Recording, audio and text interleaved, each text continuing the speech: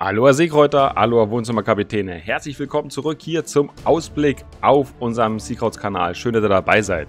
Ja, Ausblick-Time heißt, wir blicken voraus auf Work-in-Progress-Inhalte und das fängt diesmal an mit dem deutschen Kreuzer Aegir.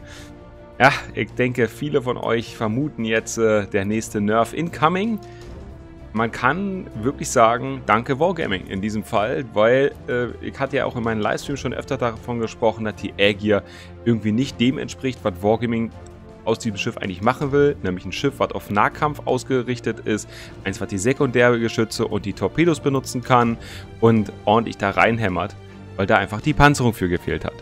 Jetzt hätte man zwei Möglichkeiten gehabt. Entweder man verbessert die Panzerung deutlich und lässt den Rest der, äh, des Schiffes so, oder man ändert dieses Schiff im Allgemeinen und verändert andere Sachen. Und das haben sie getan. Wir haben durch die Schussweite der Hauptbatterie von 17 auf 18,5 Kilometer erweitert und dabei bleibt es nicht. Sogar die Sigma-Anpassung hat stattgefunden, nämlich von 1,8 hoch auf 2,05. Also das ist schon eine ordentliche Sigma-Anpassung. Die Nachladezeit der Hauptbatterie wird um 2 Sekunden reduziert. Wir haben nicht mehr 22 Sekunden, sondern nur noch 20 Sekunden. Natürlich, dadurch, dass die Ausrichtung jetzt nicht mehr auf Sekundär ist, wird die Sekundärreichweite jetzt reduziert, nicht mehr von 7,6 ausgehend, sondern jetzt von 5,3 Basisreichweite. Und auch die Genauigkeitseinstellung der Sekundärbatterie, die hier wohl höher war, war mir gar nicht so richtig bewusst, muss ich ganz ehrlich sagen, äh, die wurde jetzt auf die Standardeinstellung für Kreuzer angepasst. Ja, und wie gesagt, Wargaming begründet das halt daran, dass das Schiff einfach ihren Anforderungen nicht gerecht werden konnte Gut, das haben wir äh, ja aktiv herausgefunden in Gefechten.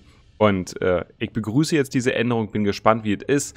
Äh, wird dann demnächst im Testserver bzw. im Live-Betrieb natürlich im Livestream auch mal zu sehen sein als Testschiff, wie sich das dann mit den neuen Einstellungen so fährt.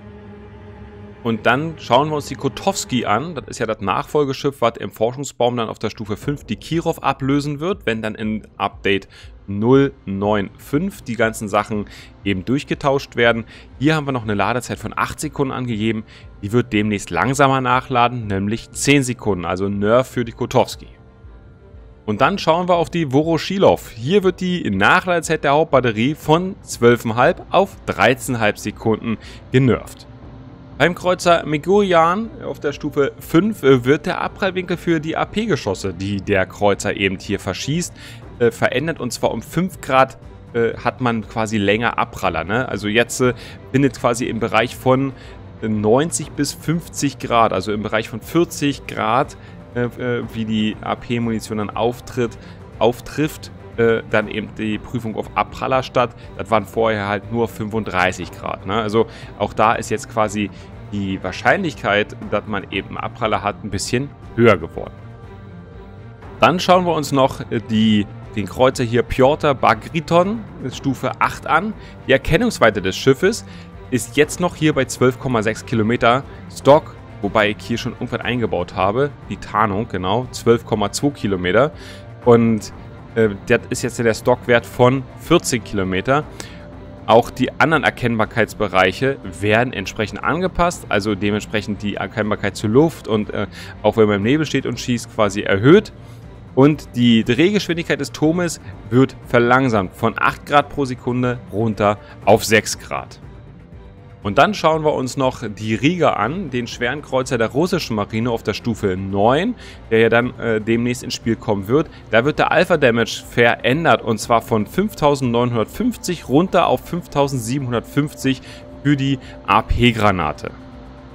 Und nachdem wir uns jetzt eine ganze Menge russische Schiffe angeguckt haben, gucken wir uns jetzt mal die, den Gegenpart zumindest äh, eine ganze Zeit in der Welt an. Und zwar ein amerikanisches Schiff. Und hier ist es die California. Ich habe jetzt extra mal die Kameraperspektive gewählt, wo sie meiner Meinung nach hier am beeindruckendsten aussieht. Der breite äh, Dampfer hier mit den ganzen Sekundärgeschützen. Also ist wirklich eine krasse Nummer, wie der Teil aussieht. Leider, und da muss ich sagen, wirklich leider bringt das Schiff meiner Meinung nach zumindest nicht so viel tolle Sachen mit aktuell. Und zwar war das Schiff schon relativ langsam. Äh, gerade wenn man mit dem Schiff dann in ein T9-Gefecht kam, war das richtig eine Riesenqual. Und ja, es äh, wird jetzt nochmal die Nachladezeit verändert bei der California. Und zwar nicht etwa verbessert, sondern sogar verschlechtert. Wir hatten hier 30 Sekunden Nachladezeit und das wird jetzt verändert auf 34,2 Sekunden. Und damit werden wir das Schiff dann in Zukunft wieder mal testen und mal gucken, was dann dabei rauskommt. Ehrlich gesagt kann ich mir nicht vorstellen, dass dieser Dampfer dadurch deutlich attraktiver wird, muss ich ganz ehrlich sagen. In, das Ding ist langsam, er schießt zwar weit, aber das ist eigentlich auch schon alles, ja. Mit dem Schiff bist du auf der Stufe 8 oder 9, naja, relativ verloren, ja. Die Torpedos, die da ankommen, die sind dann teilweise äh, fast das Zehnfache schneller, als man selber fährt, oder nicht das Zehnfache, aber ihr wisst, worauf ich hinaus will, ja. Wenn dann ein, ein Pan-Europäer euch torpediert, dann kommen die Torps da mit 85 Knoten und ihr dümpelt da irgendwie was von mit 20 Knoten durch die Gegend, ja. Also, ähm, es ist schon eine ganz schön harte Nuss teilweise. Muss man wirklich, man muss wirklich am Anfang des Gefechts ein gutes Gefühl haben dafür, wo das Gefecht eben abgeht. Dafür ist man dann hier sehr stark flak bewaffnet. Ihr seht, äh, das ist so die Stärke der California so ein bisschen. Aber überwiegend finde ich das Schiff, naja, eher, eher unterdurchschnittlich, muss ich ganz ehrlich sagen. Und zu guter Letzt kommen wir zu einem weiteren Schlachtschiff auf der Stufe 10 diesmal. Und zwar zu einer Abwandlung der Yamato. Hier die Shikishima Stufe 10 wird ja ein Stahlschiff werden. Wir hatten im letzten Ausblick schon davon berichtet, was sich alles verändern wird bei der Shikishima. Äh, jetzt haben sie wieder mal eine Änderung gemacht, weil man muss ganz ehrlich sagen, auch die letzten Änderungen für mich jetzt nicht dazu beigetragen haben, dass ich mit der Shikishima ein deutlich cooleres Fahrgefühl habe irgendwie. Äh, wir haben dieselbe Streuung wieder bei Yamato, aber drei Mumpeln weniger in der Luft. Und das sorgt einfach dafür, dass das Trefferbild einfach nicht so toll aussieht, häufig. Man fühlt sich allgemein relativ träge, ist ja auch irgendwo halt relativ typisch für das Schiff, langsame Turmdrehzeiten und so weiter. Und jetzt will man dazu ein bisschen ausgleichen, indem man den Alpha-Damage der AP-Granate wieder erhöht. Wir waren mal bei 19.000, wenn ich mich recht entsinne, wurden dann runtergebracht auf 17.000. Jetzt wird der Alpha Damage wieder erhöht auf 19.400. Und ich denke, mein persönliches Bauchgefühl sagt mir, das wird nicht die letzte Änderung sein, die dieses Schiff bekommt. Es muss attraktiver werden, immer noch attraktiver werden, wenn man dieses Schiff für Stahl in das Spiel bringen möchte und äh, sich davon erhofft, dass es einigermaßen häufig äh, freigeschaltet wird von Spielern, die CW spielen oder so. Ähm, dafür wird das meiner Meinung nach nicht ausreichen. Das soll es jetzt aber schon gewesen sein vom Ausblick. Mehr hatte Wargaming in der letzten Zeit nicht verändert bei den Schiffen. Ich hoffe, wir konnten euch wieder so ein bisschen einen Eindruck äh, bieten, wie die Testschiffe so sind, in welche Richtung sie sich entwickeln.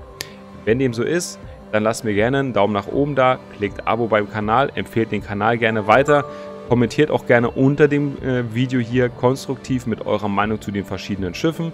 Interessiert mich immer sehr, was ihr da so für Einschätzungen von habt.